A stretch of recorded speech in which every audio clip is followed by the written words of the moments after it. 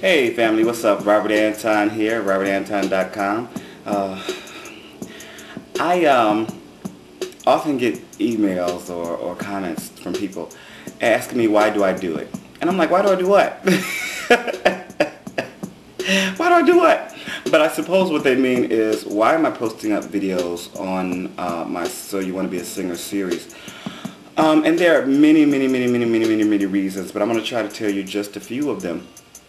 Um, you know, when somebody sent me this whole YouTube thing, a good friend of mine is uh, Theory, it's uh, T-H-I-E 210, sent me the first video. It was of Jennifer Holliday performing, and she's like my favorite performer of all the time just because the power and, and, and expressiveness of her voice. Um, and I watched that night videos till 2, 3, 4 in the morning and I was just having such a good time just searching people from way back when. And, and, anybody I could think of I would look them up and I saw videos on them. And I was really just I was hooked. I was hooked. So um, from there I started to think well you know I could put up stuff of my band. And then I got to January February. Now this was like in maybe late November early December so I got into January, February. And what happens in January, February with many performers is there's a slump. You know, just like the retail industry and everything else, there's a big slump in work a lot of times unless you have a year-round gig. And for the things that I do as a day gig, there's a big slump. So a lot of times, um, I tend to, and I tell my friends this, I tend to go to a, through a mild depression. Um, I don't know, when you're a performer, you know, there's so much love and positive energy and and just oh, just just everything exerted when you're on stage and when you're performing and when you're doing what you're doing that it's such a high. I can understand why, you know, some performers you know get into drugs because you know there's there's no other where else you can get that high. And if they can't get on stage then they can't get that high. So they need something else. Well I think YouTube has become my something else. Um, I've never done much for drugs to begin with. I don't drink a lot. Um, but during that period, I was thinking, you know, what can I do? And I even posted a video saying, you know, what can I do to use YouTube to um, to help other people, basically. You know, something that I know. And what I do know about is performing as a singer. Um, most people I know and people I run into say, man, you're always doing something. You always got projects going. You're always working. You've always got blah, blah, blah, blah, blah. How do you do it? So I, that's how I came up with the idea. So you want to be a singer. Um, and let me tell you, last year, while I was doing So You Want to Be a Singer, I ended up finishing up my CD, and saying and releasing that. Um, and I didn't feel that I went through any type of even mild depression last year.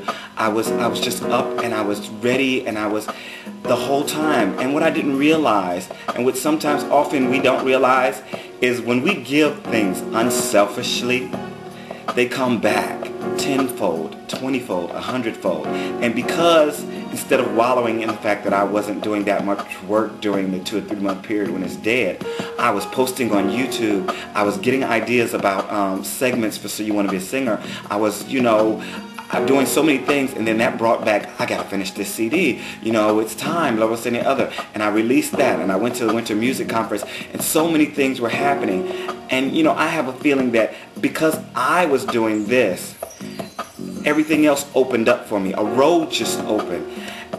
I have gotten so much more out of YouTube than I have given. And I feel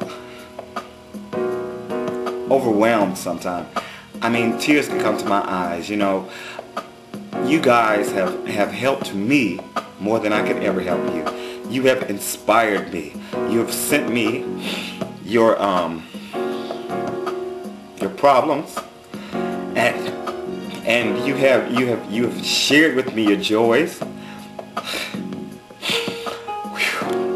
I thank you. I thank you, YouTube. It helps me so much to give back that you just don't know. Um, and I go and watch my videos sometimes too. when I need to remember a point or something, you know, I go back and I look at my videos. And I actually had a commercial audition yesterday.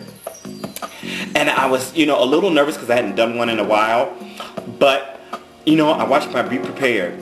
and I was there. You know, I, I, got my clothes together. I knew what type I was supposed to be. I, I was ready. You know, I learned my material. I didn't memorize it, and I thought I should have, and I should have, but I didn't. But I got, you know, I had a good idea of everything that was going on, and I had my background story. I was just prepared. I was prepared, and I went in, and I thought I was going to be nervous, and I wasn't nervous at all.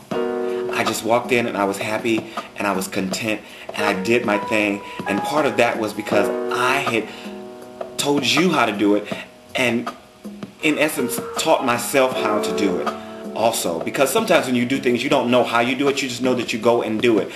But if you think through it and you see what happened and continue to tell yourself again and again and again you kind of learn what you did to make to make it come out. Maybe not like right I might not get the job. Who cares? I went and I did a great audition. I felt good about it and I got a lot out of it because of that. Um, so YouTube has given me something to live for. Um, you guys, every day I think of you when I go to things, you know, when I have appointments, when um, little problems or challenges come up in my business life, you know, the first thing I think of is how can I work through this so that I can help someone else work through it. And, and it inspires me every day, so I thank you. um, I'm sorry, I'm so emotional.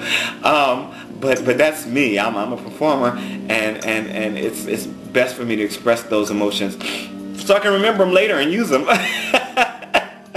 so uh, wish me luck on the commercial. Um, and make sure that you go to cdbaby.com and check out Robert Anton. You can Google me at any time, Robert Anton, one word, or Robert Anton NYC, Play Anton Productions. Um, and check me out, pick up some music. It's, it's the holidays, and I hope you all have a blessed, blessed holiday.